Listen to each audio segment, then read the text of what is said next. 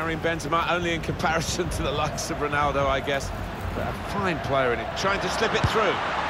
There it is, first goal of the game. And coming this early, the promise of more to come.